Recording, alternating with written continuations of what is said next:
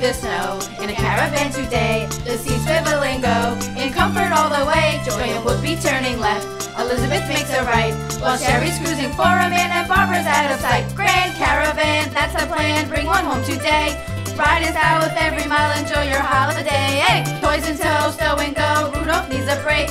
So stand aboard a caravan for all his reindeer's sake. Grand caravan, that's the plan. Five star rating too. Backseat TV and luxury. See Santa watch the view.